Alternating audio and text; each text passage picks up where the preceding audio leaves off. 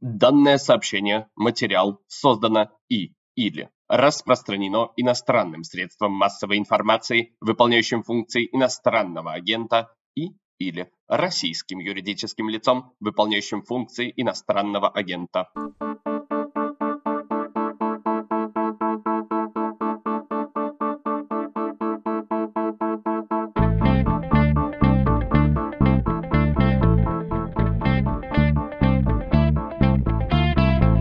Здравствуйте, это «Что случилось?» Подкаст о новостях, которые долго остаются важными. Я его ведущий Владислав Горин. Скоро здесь появится исследователь, экономист Сергей Гуриев. Будем говорить о его с автором книге. Она посвящена специфическим современным диктатурам, из разряда которых Россия, кажется, выпала и двинулась вперед в прошлое. Классическим режимом 20 века с репрессиями и войнами.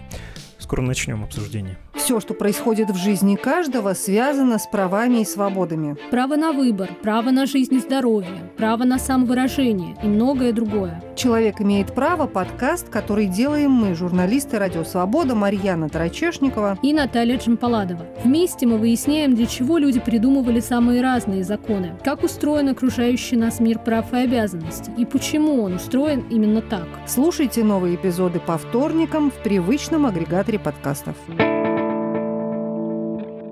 Сергей Гуриев, профессор экономики в Школе политических наук Сиенспо, Париж, Франция. Здравствуйте, Сергей Маратович. Здравствуйте, Владислав. Сегодня не модно упоминать такую дисциплину. В советский период говорили про такое политэкономия, да, политическая экономика.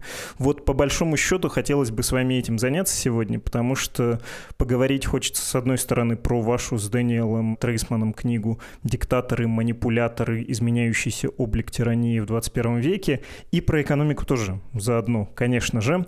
Боюсь, придется начать с базовых понятий. Вам уже не первый раз приходится это объяснять, но не могли бы вы снова объяснить, что такое спин-диктаторы, они же манипулирующие диктаторы? Владислав, это отличный вопрос. Я хотел бы вернуться к тому, с чего вы начали, про политическую экономику. На самом деле общественные науки раньше были едиными, и условный Адам Смит, основоположник современной экономики, был как раз политическим экономом. И в русской литературе в Евгении Онегине как раз упоминаются ссылки на Адама Смита. Потом общественные науки разошлись, специализировались, но в последние десятилетия они сходятся опять, и междисциплинарные исследования становятся самыми важными, потому что политика влияет на экономику, экономика влияет на политику. Экономисты обязаны учитывать и социальные процессы, думать о том, как работают правовые институты, думать и об истории и об антропологии, о психологии. В этом смысле, конечно же, сейчас нет ничего неестественного в том, что экономисты смотрят на политические процессы, а политологи как раз в том числе публикуются в экономических журналах. И наша книга с Дэниелом Тризманом, она основана на ряде наших статей. Некоторые из них опубликованы в экономических журналах, некоторые в политических. И сам Дэниел без меня опубликовал много статей в экономических журналах, хотя он самый что ни на есть политолог. Вот. Что касается того, что такое спин-диктаторы, диктаторы-манипуляторы, как вы их правильно назвали.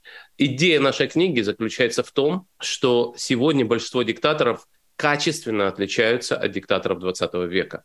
Диктаторы 20 века, такие как Сталин, Мао, Гитлер, Пол Пот, имели идеологию, и терроризировали своих граждан. Делали массовые репрессии, делали это открыто, и идея того, что граждане должны бояться власти и поэтому подчиняться власти, была центральной в недемократических режимах. Сегодня же ситуация другая. Большинство диктаторов – это диктаторы, как условный Путин 10 лет назад. Человек, который притворяется демократом, который проводит выборы, у которого есть какие-то независимые СМИ, у которого есть какие-то оппозиционные партии, у которого нет официальной цензуры, цензура происходит скрыто, репрессии, если есть, то они ограничены, и тоже проводится скрытно, чтобы граждане думали, что они живут в демократическом режиме, где лидер является популярным, а не страшным. И вот идея нашей книги заключается в том, что мы рассматриваем примеры таких режимов, показываем, откуда они берутся, как они трансформируются, как с ними бороться. И когда мы классифицируем режимы, мы показываем, что таких режимов в последние десятилетия возникло так много, что они теперь являются большинством, правилом, а не исключением в недемократическом мире. Владимир Путин и его режим из информационной автократии, из манипулирующей диктатуры шагнул вот в этот суровый, описанный вами, свойственный 20 веку тиранический тип правления, когда можно репрессировать все больше и больше, а еще вот с соседями повоевать, почти как во Вторую мировую, когда танки, снаряды, самолеты. Вас упрекали, что вы путинскую автократию относили к вот этим сравнительно травоядным информационным режимам, и после выхода книги, ввиду уже начавшейся начавшейся войны вам часто это говорили, но я посмотрел, вы еще год назад и раньше говорили, что путинский режим движется к всему вот этому неприятному маоизму, сталинизму, германскому тоталитаризму и прочим нехорошим образцам. По каким признакам вы судили? Да, вы совершенно правы. Сегодня, конечно, путинский режим является открытой диктатурой, репрессивной диктатурой, диктатурой страха, а не диктатурой обмана. И это произошло, насколько я могу судить, в первую неделю после начала войны. Как только война началась, это была война, которая была рассчитана на то, чтобы быть маленькой победоносной войной. Путин хотел сделать вот такую спин-диктаторскую войну типа аннексии Крыма. Когда он увидел, что это не получается, когда он увидел, что оставшиеся независимые СМИ резко влияют на настроение общества. Помните, был такой опрос команды Навального, который показывали, что каждый день после начала войны поддержка войны существенно сокращалась. Путин ввел эти законы о военной цензуре, фактически закрыл все оставшиеся независимые СМИ, и режим действительно превратился в репрессивный режим. Мы в книге пишем о том, что такое бывает. Путин не первый информационный диктатор, который стал диктатором страха. Например, венесуэльский режим трансформировался таким же образом. Если же говорить о том, что было год назад, вы правильно говорите, что мы уже тогда начали писать об этом. Последнюю точку мы поставили в нашем манускрипте в мае 2021 года, и там мы, как вы правильно говорите, уже пишем об этом. По каким признакам мы говорим об этом? В чем ключевое отличие между диктатором обмана и диктатором страха? В первую очередь речь идет о том, знают ли граждане, что им нужно бояться власти. Так вот, в марте 2021 года Левада-центр. Вынужденная ремарка. Левада-центр признан в России иностранным агентом. Мы все еще стараемся соблюдать законодательство Российской Федерации и говорим это. Провел опрос, и результаты были опубликованы в апреле. В этом опросе 52% российских граждан говорят о том, что они боятся возвращения массовых репрессий. Этого раньше не было. Такого рода величин не было. И связано это, естественно, с тем, что граждане увидели жестокое подавление протестов сторонников Навального, и, конечно же, люди поняли, что сегодня выходить на улицы страшно, и что на улицы готовы выходить огромное количество людей, и тем не менее эти протесты будут подавлены. Далее в течение 2021 года вы увидели, как э, все больше и больше СМИ закрывалось, объявлялось иноагентами, объявлялось нежелательными организациями. И самого Навального начали судить уже не за мошенничество, а за создание экстремистского сообщества. Вот то самое объявление штабов Навального экстремистской организации, это и есть открытые политические репрессии. До этого, как вы помните, Навального и его сторонников осуждали за то, что они не платят налоги или воруют деньги у Ивроше или кого-то еще. Вот это типичная информационная диктатура. А то, когда политических заключенных сажают в тюрьму за политические преступления, это как раз диктатура страха. Как происходит обычно эта эволюция, и есть ли тут оппозиция информационная диктатура и такая классическая? Потому что с Чавесом Мадуро немного сбивает с толка, что один лидер умер, появился другой, но мы вот можем по ближайшему соседу, по Лукашенко, судить о такой же эволюции, когда при одном человеке сравнительно быстро, да, но произошло то же самое. Или вот по Владимиру Путину, как будто два разных типа правления на времени одного персоналистского лидера мира. Это неизбежность, вот такая инфляция действующего режима или нет, не обязательно? Нет, никакой неизбежности здесь нет, но я начну вот с чего. Как бы Владимир Путин не притворялся демократом, как бы Виктор Орбан не притворялся демократом, как бы Эрдоган не притворялся демократом, это все-таки диктатуры. Надо понимать, что наличие выборов не делает режим демократическим. В политических науках демократию определяют как режим, в котором лидеров и ключевые решения определяют на честных конкурентных выборах. У Владимира Путина давно не было честных конкурентных выборов. Никогда не было. Да. У меня был студент в Российской экономической школе, который уже на выборах 2008 года показал количественно, что там были существенные манипуляции.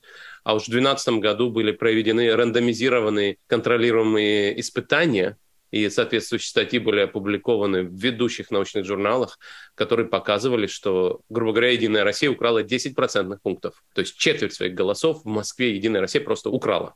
Вот. Ну и это означает, что даже если выборы есть, даже если есть так называемые оппозиционные партии, это не демократия. Выборы 2013 года в мэра Москвы, несмотря на то, что там участвовал настоящий оппозиционный кандидат Алексей Навальный, выборы не были честными и конкурентными, и в этом смысле это тоже не была демократия. Так вот, если у вас есть недемократический режим, то человек, который его возглавляет, скорее всего, хочет удерживать власть. И дальше возникает вопрос, как он с этим будет справляться. В современном мире информационная автократия или спин-диктатура, диктатура обмана возникает именно потому, что ей легче удерживать власть и существовать в этом самом новом глобализированном развитом мире. Грубо говоря, Северная Корея потому так плохо и живет, что она диктатура страха. А вот э, Венгрия получает деньги из Еврокомиссии. Турция торгует с Европой, получает иностранные инвестиции. Да? Почему? Потому что вот они таким образом пытаются манипулировать западным общественным мнением, говорят о том, что мы, может быть, и несовершенная демократия, но, по крайней мере, выборы у нас есть. Дальше возникает вопрос, что с этим делать, когда у вас в стране растет образованный класс? Это очень важно. В современном мире стоимость ВВП создается не только, не столько на заводах, сколько в секторе услуг. Вот такая компания, как Яндекс, это и есть настоящий чемпион экономического роста. И если Россия хочет продолжать расти, то нужно создавать компании типа Яндекса. Но люди, которые работают в Яндексе, они понимают, что происходит в стране. И рано или поздно Путину приходится сталкиваться с этой проблемой. И он может разбирать свой режим, как это, грубо говоря, в некотором роде заявлял Медведев. Не обязательно Медведев много сделал между 8 и 12 годом, но, по крайней мере, он говорил о том, что Россия должна двигаться в этом направлении. Либо, наоборот, закручивать гайки. И действительно, некоторым режимам удается закрутить гайки, пойти в обратную сторону, с огромными издержками для экономики страны. Либо некоторые режимы разваливаются. Вот если говорить о странах, которые вы хорошо знаете, о соседях, да, то, например, Армения в 2018 году стала демократией. И я уверен, что Серж Сарксян хотел бы удерживать власть любой ценой но у него не получилось, потому что в этой стране слишком много людей понимали, что это тупик, и вышли на улицу. То есть в этом смысле нет никакой предопределенности, но каждый диктатор будет стараться цепляться за власть. Такие уж у них особенности. В чем тут политическая целесообразность, понятно, а до каких пор вот эта логика преобладает над всей остальной, в первую очередь над экономической по СССР? Плохой пример, плохо проводить аналогии, но ближе всего к телу. Мы видели, как долго, бесконечно по современным меркам долго может э, противоестественная форма хозяйствования существовать в стране при политической целесообразности. Да? Вот эти с экономической точки зрения совершенно невероятные, избыточные, временные мобилизационные военные порядки длились десятилетиями, и ничего с ними не случалось, пока оно ну, вот совершенно уже не истощилось, не пришло в кризис. В случае с той же современной Россией вы рискнете сказать, как долго логика политического может преобладать над экономическим, социальным, если уж говорить про образованных людей? Вы совершенно правы. Для диктатора приоритетом является удержание власти. Благостояние людей – это инструмент. Если это помогает диктатору удержать власть, то он будет использовать экономику для того, чтобы удержать власть. Если же экономические и политические цели расходятся, то, конечно, диктатор выбирает политические цели, как вы правильно сказали, для того, чтобы удержаться у власти. Бывают исключения. Был такой человек, Ли Кван Ю, мы много пишем о нем в книге. И все люди ссылаются на Ли Кван Ю и говорят, что мы диктаторы, ну вот был же такой диктатор Ли Кван Ю, который боролся с коррупцией, защищал верховенство права. И в этом смысле, конечно, вот это одно исключение, как пишет Алексей Навальный, создает секту свидетелей сингапурского чуда. Но это действительно очень серьезное, очень важное и очень непоказательное исключение. Сингапур – это небольшой город, Ли Куан Ю – это действительно уникальный человек, Кроме него диктаторы не любят бороться с коррупцией. Но надо сказать, что Ли не был никаким демократом. Он действительно сажал своих противников в тюрьму и боролся со СМИ. Это очень важно, мы об этом пишем. Он был одним из пионеров информационной автократии, и с журналистами он тоже боролся, надо сказать, аккуратно. Не то, чтобы он говорил, что у нас будет жесткая цензура и будет главлит, как в Советском Союзе. Его любимый метод был иски за клевету. То есть вы что-нибудь плохое написали про Ли Кван Ю, а Ли подал на вас в суд и выиграл, и разорил. Да, вот это типичный такой метод спин-диктатора, который Ли придумал. Вот, возвращаясь к тому, сколько может существовать такой режим, как современная Россия. Предсказать это очень трудно. Во-первых, современная Россия гораздо более жизнеспособна, чем Советский Союз. Почему? Потому что экономика все-таки рыночная и нет ограничений на выезд до сих пор. Вот все время возникают такие разговоры, что будет мобилизация, ограничения на выезд.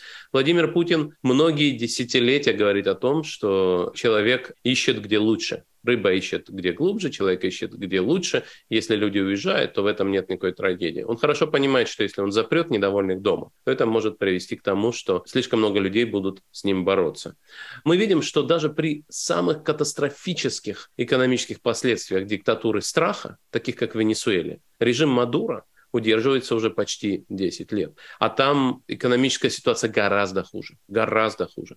И его экономические советники гораздо менее грамотные и ВВП упал в 4 раза. 20% людей уехало из страны. Тем не менее, режим продолжает удерживать власть. Северная Корея удерживает власть десятилетиями. Сирия, да, то же самое. И в этом смысле предсказать это очень трудно. С другой стороны, Владимир Путин сделал огромную ошибку, напав на Украину. Это тоже в некотором роде, как говорят программисты, не баг, а фичер диктаторского режима. Это ошибка связана с тем, что он плохо информирован а плохо информирован он, потому что он не любит, когда люди с ним спорят. И так устроены все диктаторы. У него нет независимых СМИ, которые он читает. Поэтому он переоценил силу своей армии, недооценил силу украинского сопротивления, недооценил решимость и единство Запада и поэтому совершил эту катастрофическую ошибку, которая серьезно сократила продолжительность жизни его режима. Но предсказать, сколько его режим продержится, я не могу. Но думаю, что речь идет скорее о годах теперь уже, а не о десятилетиях. И в этом смысле, конечно, мы не можем предсказать, что будет после этого, будет лучше или хуже. Но мне кажется, этот режим сократил свою жизнь существенно, напав на Украину. Про экономическую команду современную сегодня на «Медузе» вышел материал с подзаголовком «Крышка гроба закрыта и заколочена» про Центральный банк, про Эльверу Набиулину, как там люди находятся, что делают и что про это думают. Всем слушателям рекомендую. Насчет слабого места хотелось бы уточнить у такого режима, что может поспособствовать его отцветанию падению. Ну, потому что на что надеется публика, я, если честно, злюсь, когда слышу такие высказывания. Мол, ждем одной конкретной новости о состоянии здоровья одного конкретного лица. И я думаю, ну, нельзя быть такими невзрослыми, что ли. Ну, в Туркменистане тоже, наверное, ждали, и что, чего дождались. Экономика, вы сами сказали, не факт, что слабое место, не факт, что санкции сильно ускоряют падение режима. Внешнеполитическая легитимность, но, опять же, вот Россия допустила дефолт дефолт по своему внешнему долгу и ничего, и про какую там внешнюю легитимность можно говорить после того, как э, весь развитый мир против тебя. Во что бить? Давайте вот сыграем, что ли, в такого условного противника Кремля. Да, вы задали целый ряд вопросов, давайте пойдем по порядку. Про текст на «Медузе» сегодня 27 июня вышел действительно текст про Российский Центральный банк. Там есть и цитата из э, моих ответов на вопросы журналиста. И те люди, которые там упоминаются, практически все они, кроме Эльвиры, выпускники РЭШ, поэтому я их всех очень хорошо знаю. Значит, я хотел бы уточнить, что именно я хотел сказать в моих ответах. Я давал интервью западным СМИ по поводу Российского Центрального банка. Дело в том, что Российский Центральный банк думает о себе как о враче, который пытается помочь больному, вне зависимости от того, больной является ли хорошим или плохим человеком. Российский Центральный банк считает, что без нас россияне пострадают больше. И это тоже правда. Но надо помнить одну очень важную вещь. Каждый дополнительный рубль, который спасают для бюджета российские центральные банкиры и любые другие российские чиновники, сотрудники Министерства экономики или Министерства финансов, этот рубль идет на войну. Каждый лишний рубль у Путина идет не пенсионеру, а он идет на то, чтобы нанимать контрактников и посылать их убивать украинцев. И в этом смысле, да, я считаю, что российские чиновники, которые сегодня работают в путинском государстве, работают в том числе и на войну. Это что касается этого очень интересного текста. Возвращаясь к новости на первой странице, да, как в советском анекдоте, человек читает газету, его спрашивают, куда вы смотрите, зачем вы открыли газету? Он говорит, я ищу некролог, но некрологи печатаются на последней странице. Человек говорит, тот, который я жду, будет напечатан на первой. Это персоналистский режим. Это не коммунистический Советский Союз, где была партия, политбюро, идеология. Это режим, где все вертится вокруг одного человека. Вы правильно упомянули Туркменистан. А, с другой стороны, можно упомянуть и Узбекистан. Да? В Узбекистане тоже был персоналистский режим, где после смерти Каримова целую неделю не было понятно, он жив или умер. Да? Он был, как по-английски можно сказать, undead, прямо как из литературы про зомби, что предъявить живого Каримова они не могли, Объявить о смерти тоже не хотели, потому что пытались договориться о том, что будет дальше. И Узбекистан сегодня это тоже не демократия, мягко говоря. Но это совершенно другой режим. При этом и Таджикистан, и Туркменистан, и Узбекистан – это страны гораздо менее урбанизированные и образованные, чем Россия. Поэтому после того, как уйдет Владимир Путин, Россия может пойти по совершенно другому пути. Я уверен, что люди вокруг Путина постараются построить какую-то военную хунту, или КГБшную хунту, попробуют найти какого-то преемника, который всех устраивает. Но надо помнить, что Владимир Путин строил эту систему под себя. Она построена так, чтобы никакой альтернативы не было, чтобы ни у кого даже не возникла мысль, что вот этот человек может заменить Путина. Потому что как только есть этот человек, то Владимир Путин находится в страшной опасности. Поэтому построить альтернативу Владимиру Путину будет совсем, совсем непросто.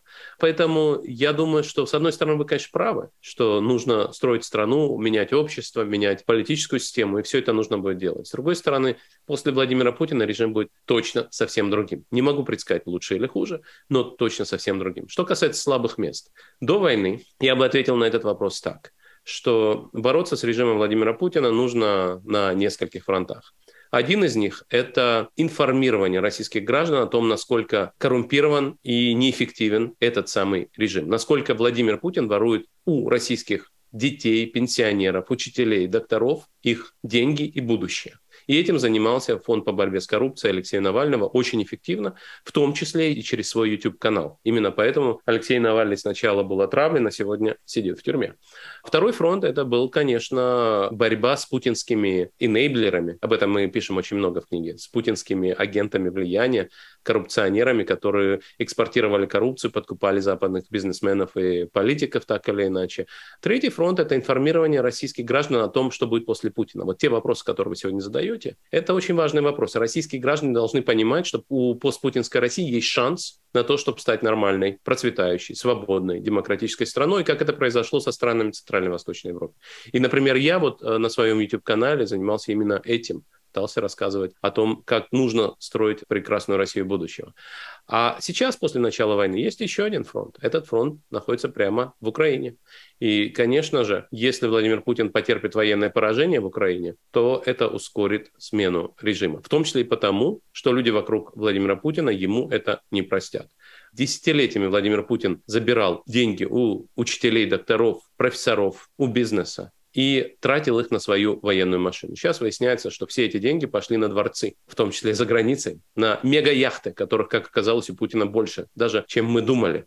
И в этом смысле оказалось, что даже те люди, которые ненавидят Украину, теперь будут ненавидеть и Владимира Путина. Поэтому военное поражение в Украине – это самый главный фронт сейчас. Все остальные не так важны, но они тоже важны.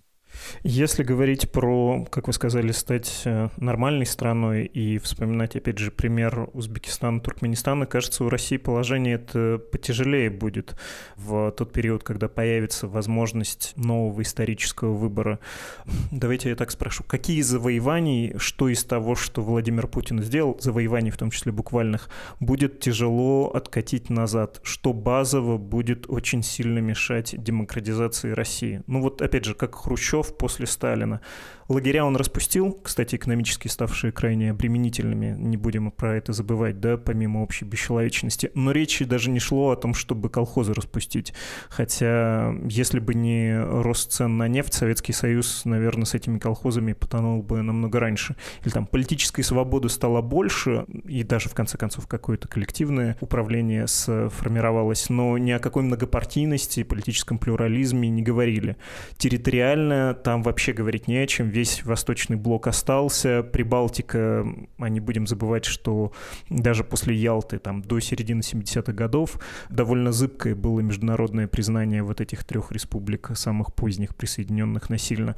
Но вот было много всего, от чего уже было не отказаться, что было настолько глухо инсталлировано в государственную систему, в общество, с чем России придется разбираться и, может быть, э, страшно долго разбираться из того, что было наворочено, наделано в последние два десятилетия.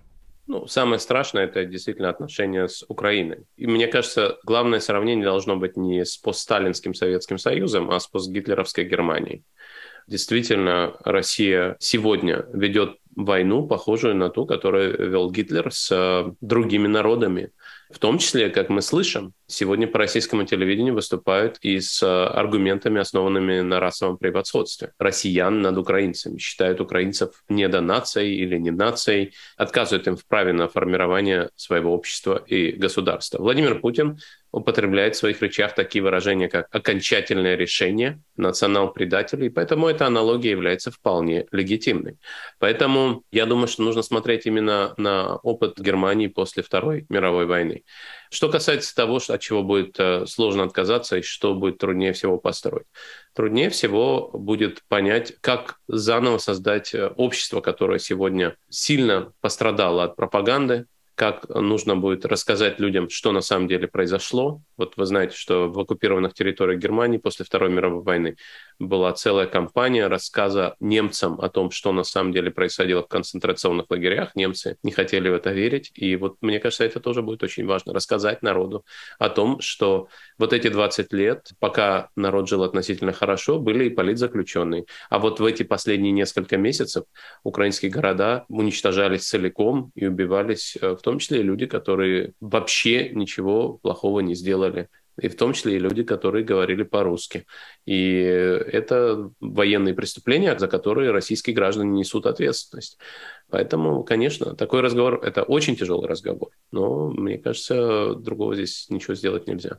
А в остальном, в остальном ну, действительно, и Германия, и Япония стали нормальными демократическими странами. Почему Россия не может, непонятно.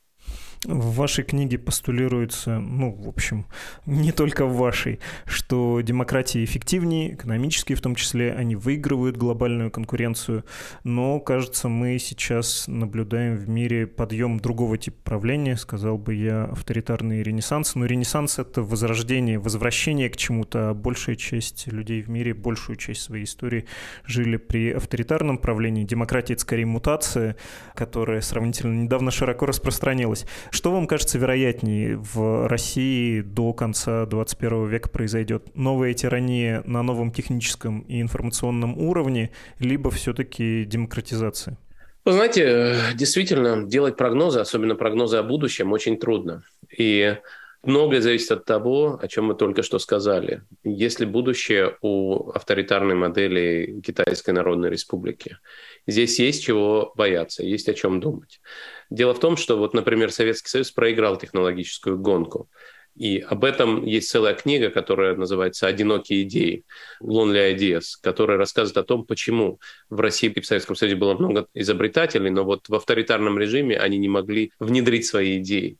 Просто вся система была против этого. И в диктатурах действительно не хватает свободы и конкуренции для того, чтобы успешно развивать новые технологии, новые экономические модели. Но сегодня передовой технологией является искусственный интеллект. И с точки зрения искусственного интеллекта у авторитарных режимов могут быть преимущества. Почему в Китае так хорошо работают компании, основанные на больших данных? Потому что там нет ограничений частной жизни. В Европе вы не можете просто так прийти и взять данные всех европейцев. Есть э, целый набор законов и регулирований, которые защищают ваши частные данные. В Китае, грубо говоря, Министерство внутренних дел может взять все эти данные, дать компании, своему подрядчику, который обработает эти данные и разработает технологию распознавания лиц, походки и чего-нибудь еще.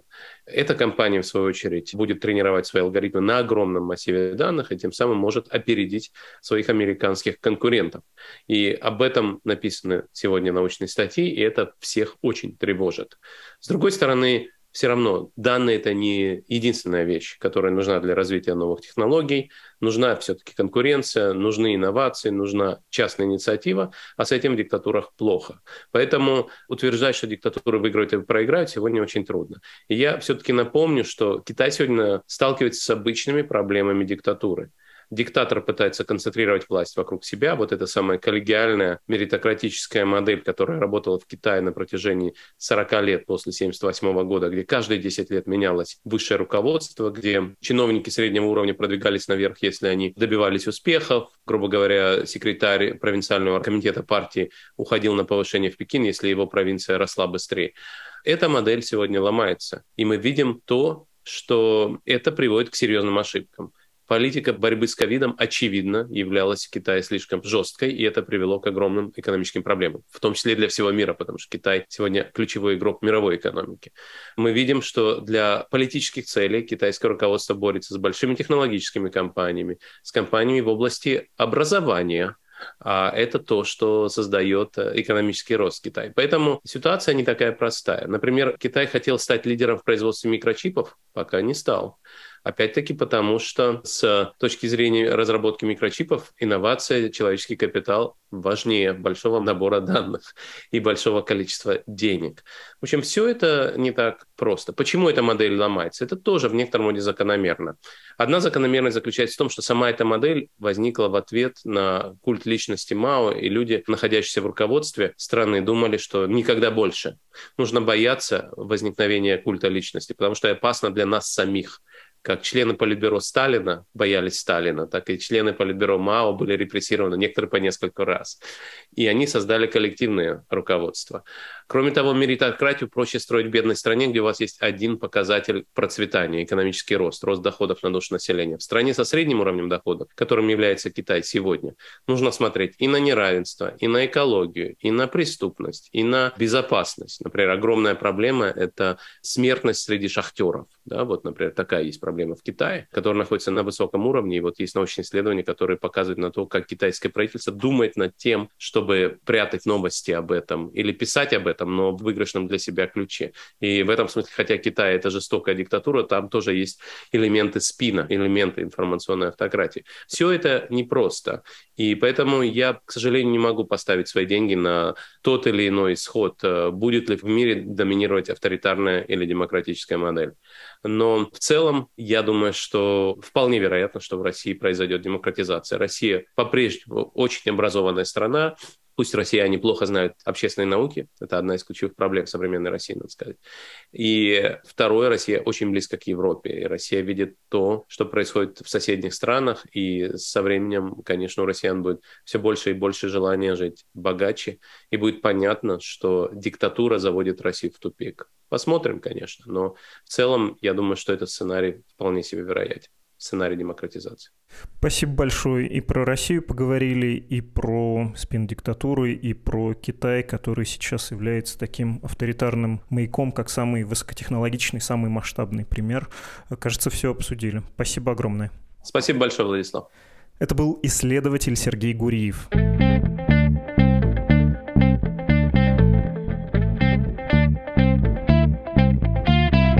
Первый на этой неделе подкаст начался благодаря нашему слушателю Эдуарду. Он начитал объявление про данное сообщение, материал. А хотите знать, как это будет по-белорусски? Вот так примерно. Даденное поведомление, материал, створено и ці распаўсюджана замежным сродкам массовой информации, якое выконвае функции замежного агента. А что насчет польского варианта? И такой вариант у нас сегодня имеется. Oraz lub rosyjski podmiot prawny pełniący funkcję agenta zagranicznego. То есть вы понимаете, это тот вид сообщений слушателей, когда они присылают записи на других языках, не только на русском, уже традиционный наш почетный жанр. Вот что Эдуард говорит в своем письме, он, как вы уже догадались, из Беларуси сам. Добрый вечер, уважаемая редакция, я ваш постоянный слушатель с августа 2020 года, когда в моей стране произошли переломные события. Тогда вы активно их обсуждали, а я внимательно слушал. Сейчас я живу в Польше, но все еще слушаю ваши подкасты и удивляюсь вашему профессионализму. Ах, ах, Эдуард, слишком сладко. Я не могу поддержать вас финансово, но уверен, если вы используете эти записи в одном из своих подкастов, мои друзья тоже увидят, какие вы классные, и начнут слушать подкаст «Что случилось?». Конец письма. Не можете поддержать финансово, понятно, дело добровольное, надо, конечно, исходить из ваших личных обстоятельств, никаких совершенно претензий к вам тут быть не может. Спасибо большое за внимание и за то, что рассказываете о нас друзьям. Тем, кто все-таки имеет возможность поддержать «Медузу» финансово, напоминаю, мы существуем на ваши пожертвования очень за них благодарны, комфортнее всего, предсказуемее для нас, так что мы можем планировать бюджет и работу, регулярные пожертвования, а не разовые платежи, хотя за них тоже, конечно, спасибо, но за регулярные троекратное спасибо. Инструкции о том, как оформить пожертвование, есть на англоязычной страничке save.meduza.io и на русскоязычной support.meduza.io.